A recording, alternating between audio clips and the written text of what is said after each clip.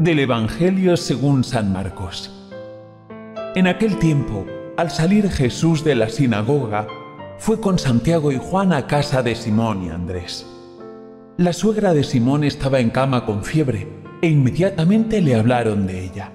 Él se acercó, la cogió de la mano y la levantó. Se le pasó la fiebre y se puso a servirles. Al anochecer, cuando se puso el sol, le llevaron todos los enfermos y endemoniados. La población entera se agolpaba a la puerta. Curó a muchos enfermos de diversos males y expulsó muchos demonios. Y como los demonios lo conocían, no les permitía hablar. Se levantó de madrugada, cuando todavía era muy oscuro, se marchó a un lugar solitario y allí se puso a orar. Simón y sus compañeros fueron en su busca y al encontrarlo le dijeron, Todo el mundo te busca. Él les responde, Vámonos a otra parte, a las aldeas cercanas, para predicar también allí, que para eso he salido. Así recorrió toda Galilea, predicando en sus sinagogas y expulsando los demonios.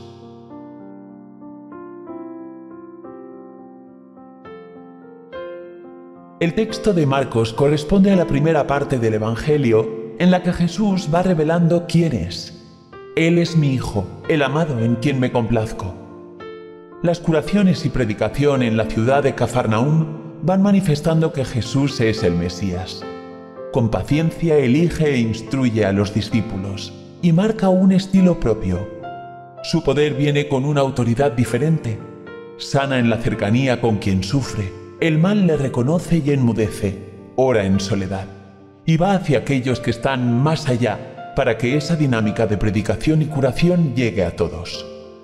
Su presencia hace bien, devuelve la dignidad y la plenitud.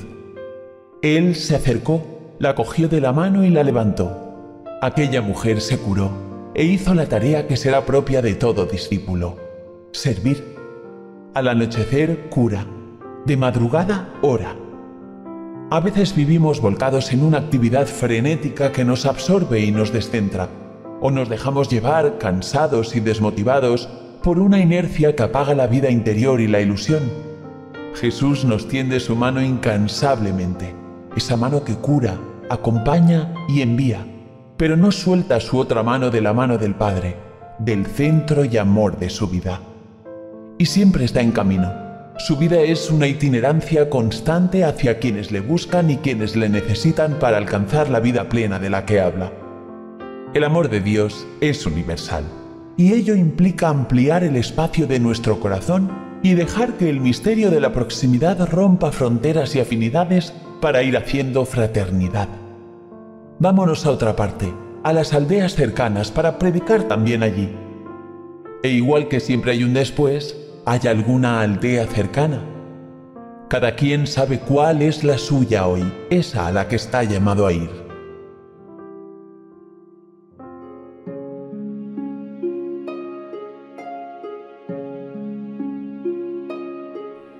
Señor, me siento bendecido por poder iniciar este día a tu lado.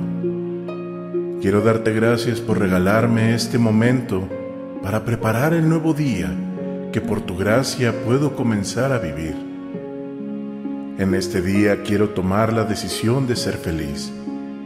Quiero sonreír en medio de las dificultades.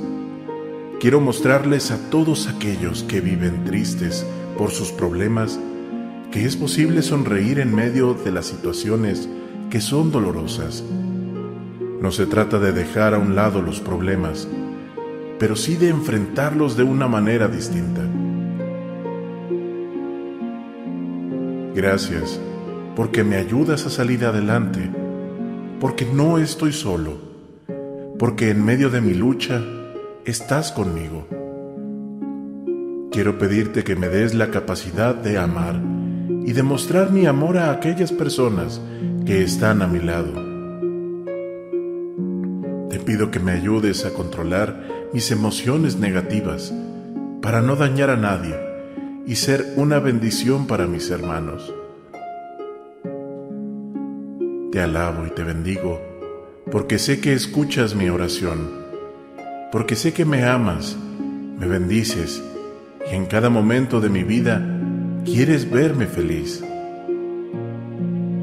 Te amo y quiero amarte más y más. Bendito y alabado seas. Eres grande, eres fuerte y sobre todo, eres puro amor por mí. Yo también quiero ser puro amor por ti. Lléname en este día de perseverancia para poder hacer frente a las adversidades que quieran venir. Señor, quiero darte en este nuevo amanecer una alabanza desde mi corazón. Te alabo por tu bondad, porque en todo momento siento que eres bueno conmigo. Te alabo por tu amor, porque ese amor me hace amar a mí también. Es tu amor el que me permite saberme valioso, saberme escogido por ti, para ser feliz. Hoy quiero centrar mi mirada en ti y pedirte que me perdones por no responder a tu amor como debe ser. Qué alegría se siente poder iniciar un día más a tu lado.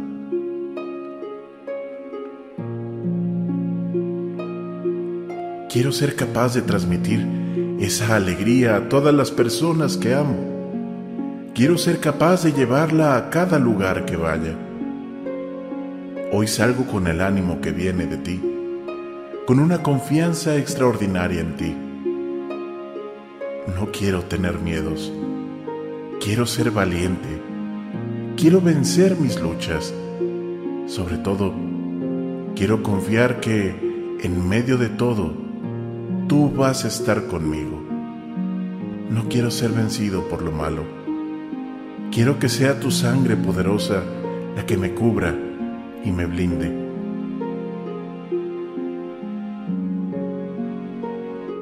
No quiero ser vencido por la maldad. Quiero poder derrotarla. Y si no puedo, sácame de su presencia. No quiero sentirme solo en estas luchas. Quiero que me hagas sentir que estás a mi lado y que me das la fuerza que necesito. Quiero sentir tu apoyo y tu amor para mí. Te amo y te doy gracias por todo lo que haces por mí y por los míos. Estoy seguro que me ayudarás a salir adelante y que me bendecirás todos los días. Amén.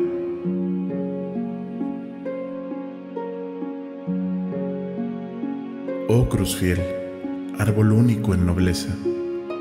Jamás el bosque dio mejor tributo, en hoja, en flor y en fruto. Dulces clavos, dulce árbol donde la vida empieza, con un peso tan dulce en su corteza. Cantemos la nobleza de esta guerra, el triunfo de la sangre y del madero, y un redentor que en trance de cordero, sacrificado en cruz, salvó la tierra. Dolido mi Señor por el fracaso de Adán que mordió muerte en la manzana, otro árbol señaló de flor humana que reparase el daño paso a paso. Y así dijo el Señor, vuelva la vida y que el amor redima la condena. La gracia está en el fondo de la pena y la salud naciendo de la herida. En plenitud de vida y de sendero, dio el paso hacia la muerte porque Él quiso. Mirad de par en par el paraíso abierto por la fuerza de un cordero. Ablándate, madero, tronco abrupto, de duro corazón y fibra inerte. Doblégate a este peso y esta muerte que cuelga de tus ramas como un fruto. Al Dios de los designios de la historia, que es Padre, Hijo y Espíritu, alabanza al que en la cruz devuelve la esperanza de toda salvación, honor y gloria. Amén. El Señor reina vestido de majestad, el Señor vestido y ceñido de poder.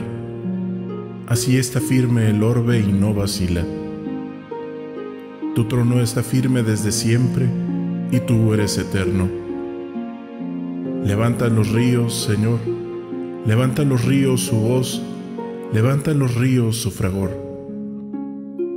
Pero más que la voz de aguas caudalosas, más potente que el oleaje del mar, más potente en el cielo es el Señor. Tus mandatos son fieles y seguros, la santidad es el adorno de tu casa, Señor, por días sin término. Padre nuestro que estás en el cielo, santificado sea tu nombre, venga tu reino, hágase tu voluntad en la tierra como en el cielo. Danos hoy nuestro pan de cada día, perdona nuestras ofensas, como también nosotros perdonamos a los que nos ofenden. No nos dejes caer en tentación y líbranos del mal.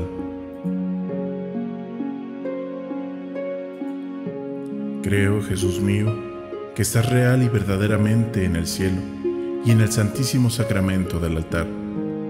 Te amo sobre todas las cosas y deseo vivamente recibirte dentro de mi alma, pero no pudiendo hacerlo ahora sacramentalmente, ven a lo menos espiritualmente a mi corazón y como si ya te hubiese recibido, te abrazo y me uno del todo a ti.